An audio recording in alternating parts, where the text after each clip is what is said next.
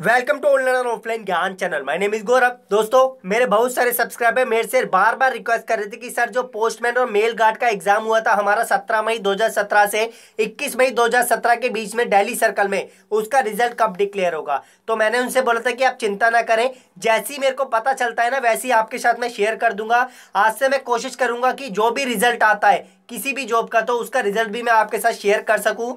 हफ़्ते में एक रिज़ल्ट तो आपके साथ शेयर कर ही दूँगा।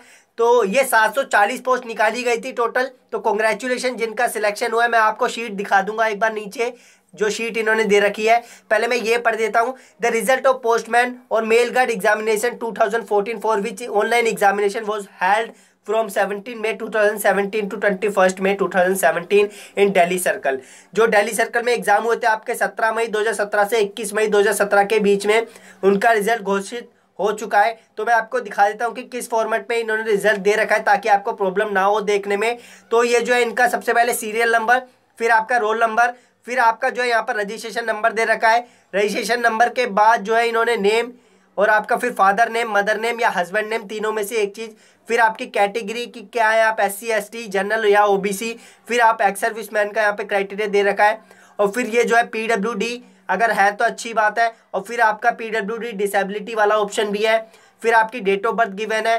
फिर आप गवर्नमेंट सर्वेंट है या नहीं, ये भी आपका दे रखा है। और मार्क्स आपके कितने आए, ये भी आपने यहाँ पर देख सकते हैं। रिमार्क्स भी गिवन है यहाँ पर। जिस जिस कैंडिडेट को रिमार्क दिया है, वो देख सकते हैं। और यूनिट एलो अलोटेड कौन सी यूनिट आपको अलोट हुई है, वो देख सकते हैं। ईस्ट में हुई है वेस्ट में हुई है साउथ में हुई है, या फिर आपके किसी और जोन में हुई है। तो ये आप देख सकते हैं। और पोस्ट फॉर विच सिलेक्टेड आपको किस पोस्ट के लिए सिलेक्ट किया गया है, ये भी आप देख सकते हैं।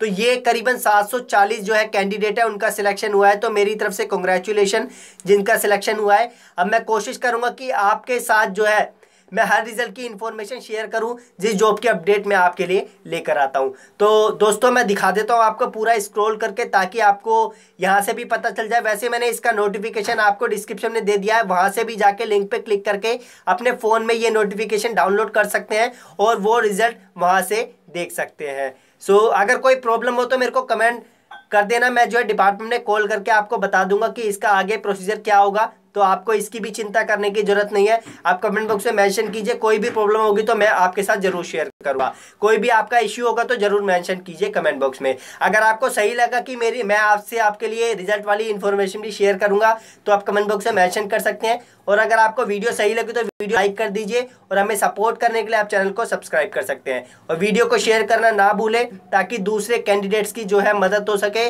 और उनको भी पता चल सके कि रिज़ल्ट आ चुका है। और जिन लोगों का सिलेक्शन नहीं हुआ है, उनको चिंता करने की ज़रूरत नहीं है दोस्तों, क्योंकि अब जो है दो में बहुत सारी वैकेंसीज आएगी। आप उनके फॉर्म फिल कर सकते हैं। जीडी की सबसे ज़्यादा वैकेंसीज आएगी तो आपको चिंता करने की ज़रूरत नहीं है। सो जिन लोगों का सिलेक्शन हुआ है, उनको दोबारा से एक बार कंग्रेचुलेशन और जिनका नहीं हुआ, वो निराश ना हो। आप 2018 में जो वैकेंसीज आएगी, उनके फॉर्म भर लेना। बहुत अपॉर्चुनिटी आएगी। 2017 में रेलवे में भी आ रही है और आपकी आपकी जीडी में भी आएगी। बहुत सारी वैकेंसीज आएगी। तो अंत में बस यही बोलूँगा कंग्रेचुलेशन एक बार फिर से और धन्यवाद इस वीडियो को देखने के लिए। और नोटिफिकेशन आप डिस्क्रिप्शन से डाउनलोड कर लेना।